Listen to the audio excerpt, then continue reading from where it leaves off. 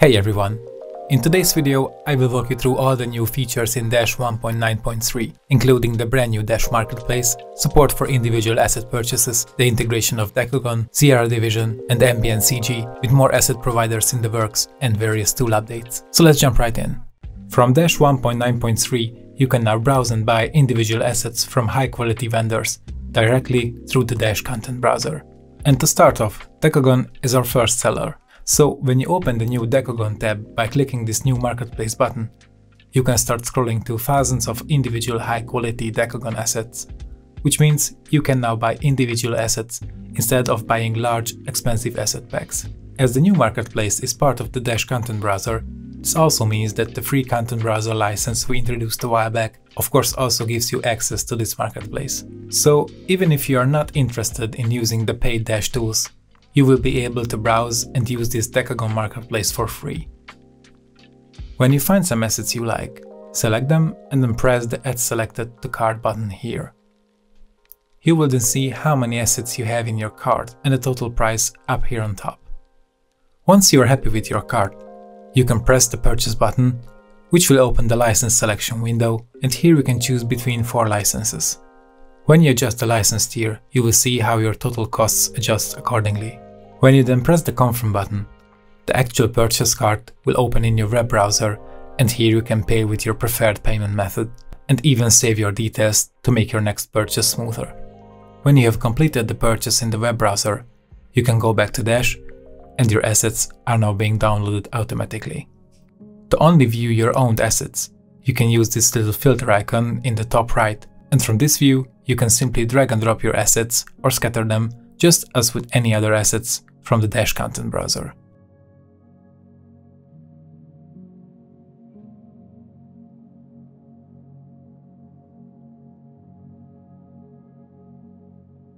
I can easily mask out the grass underneath the bowl using the Dash Proximity Mask tool. Moving back to the browsing experience, there's a couple of things I wanted to highlight. You can expand the left panel of the content browser to view the folder list of Dekogon, including their seasons and respective subfolders. And you can double-click any asset to open the details panel which includes more thumbnails, asset information, the prices of each license tier, and so on. All Dekogon assets have search tags, so it's incredibly easy to search in this library to find what you need. So let's use some Dekogon assets and build a quick environment.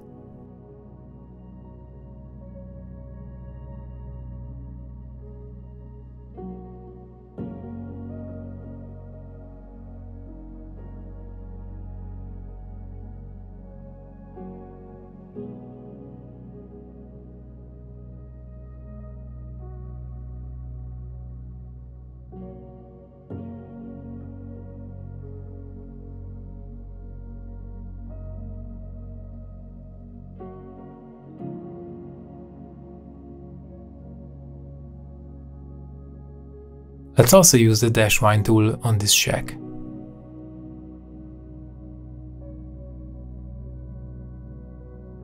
And I can easily adjust the materials of the Dekogon assets using the dash edit material tool.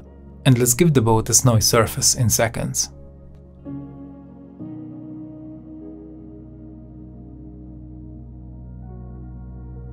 The next seller we are planning to onboard to the Dash marketplace is Sierra Division but they have actually been kind enough to provide us with one of their libraries and offer that for free to our users for a limited time. So let's switch from the Dekogon tab to the Sierra Division tab and here get the assets from the Explorer's Room pack for zero cost. I quickly set up this entire space using those assets.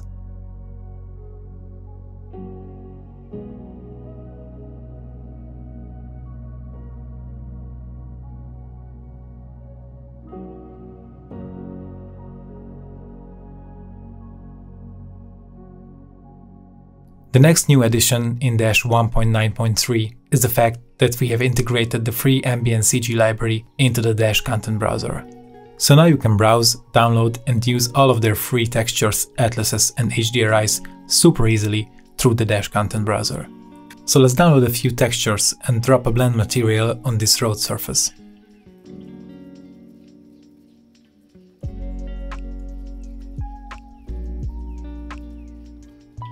You can simply hit the download icon here. Once completed, just select three textures while holding down Ctrl and drag them onto the surface. Choose Apply Blend Material.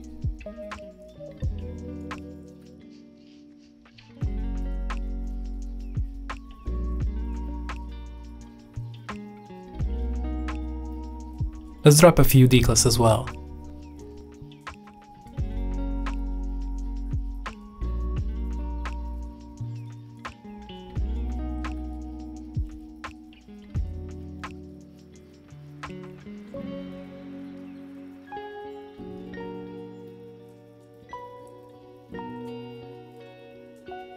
And with Dash, we can also scatter atlases in seconds.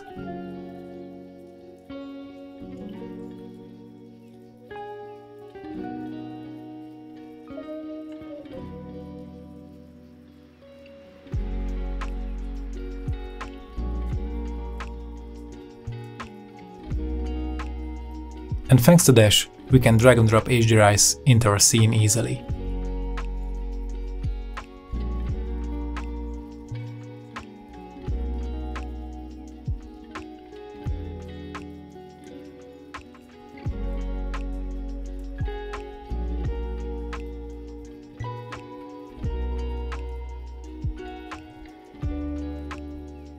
From now on, you can adjust individual scatter sizes directly in the scatter table for surface scatters.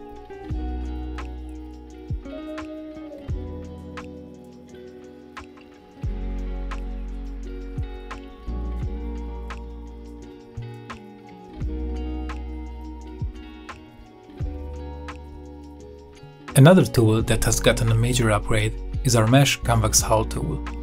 This tool lets you create and control convex hull around your static meshes and your scattered instances. Perfect for controlling the collisions for your upcoming game project. Simply open it from the search bar, assign a scatter instance, adjust your settings such as count and height, and hit compute. Then, when you go into play mode, you can see that these now stop my character from running too many meshes. Once you're happy with your settings, you can enable the hide option to avoid seeing the convex hulls.